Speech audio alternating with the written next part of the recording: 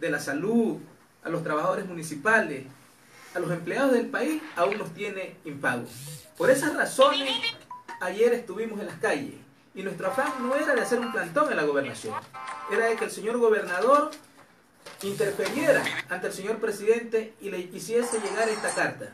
Más sin embargo, no tuvimos respuesta del señor gobernador. Estando en sus oficinas, él y el jefe político no nos atendieron a los trabajadores. Todos los trabajadores, los tres sindicatos, SUGME, ASME, SINGANME y el Comité Central de Trabajadores al cual pertenezco, nos hemos puesto de acuerdo y hemos llegado al consenso de que nuestros derechos tienen que ser cumplidos, ya que nosotros también estamos en primera línea enfrentando esta pandemia. Los trabajadores municipales somos o podemos ser uno de los más contagiados, ya que nosotros recogemos los desechos sólidos no, eh, comunes y también los desechos peligrosos de los hospitales y clínicas. Y sin embargo, tenemos ya Fabricio y Colectividad Esmeraldeña dos meses y vamos para el tercer mes que no nos pagan nuestros haberes, siendo que es la única fuente de ingreso para poder llevar el sustento a cada uno de nuestros hogares. ¿Ese tipo de acciones van a continuar? Efectivamente, eh, Fabricio, el día de hoy estamos haciendo un recorrido en los medios de comunicación, no solamente quienes estamos aquí, sino los compañeros dirigentes de otros sectores, también de otros de otro sindicatos, y en la tarde nos vamos a concentrar para evaluar y ver si es que el señor gobernador eh, tiene una respuesta favorable. Caso contrario, el día lunes estaremos nuevamente en las calles.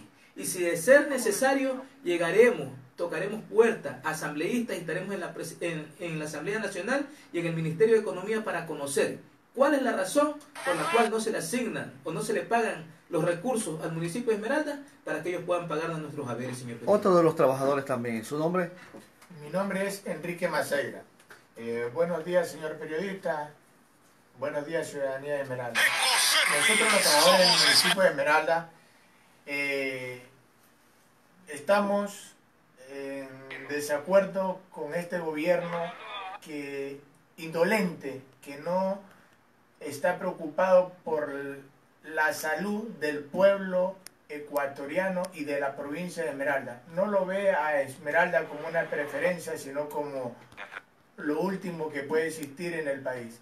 Y en esa situación los trabajadores estamos mostrando nuestra voz de protesta por ser un gobierno indolente ante las necesidades que tenemos los trabajadores del municipio de Esmeralda.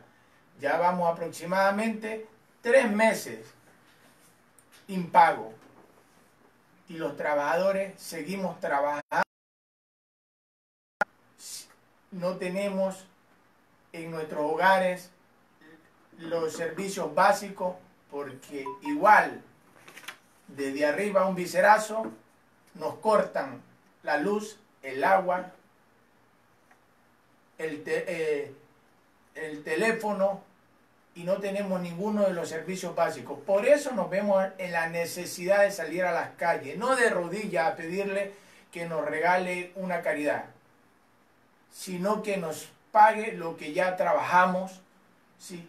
que provea al municipio de Esmeralda con las alícuotas para que el municipio de Esmeralda nos pueda cumplir a cada uno de los trabajadores para poder llevar con dignidad el pan que nos merecemos en nuestros hogares. Don, Hugo, eh, la situación es tan complicada porque hablamos de dos meses ya para los tres meses y en la tienda ya no le fían, eh, ya prácticamente no hay cómo llevar la alimentación a la casa. Usted lo ha dicho Fabricio y la ciudadanía esmeraldeña conoce que cuando uno se atrasa un mes, efectivamente el tiendero, que también son tiendas pequeñas, ya no tiene abastecimiento para seguirnos dando.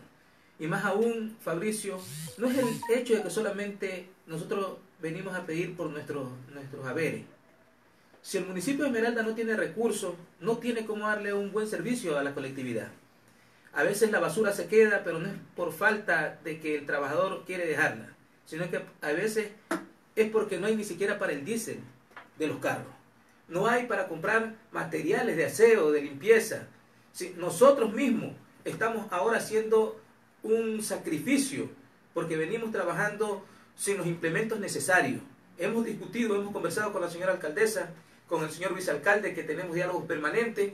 Sin embargo, eh, ellos nos han explicado cuál es la cruda realidad. Creemos que algunos departamentos hacen esfuerzos eh, sobrehumanos, como el de higiene, el director de higiene, pero sin embargo no nos alcanza, porque los recursos no llegan para poder subsistir como municipio de Esmeralda. Nosotros ya estamos... eh,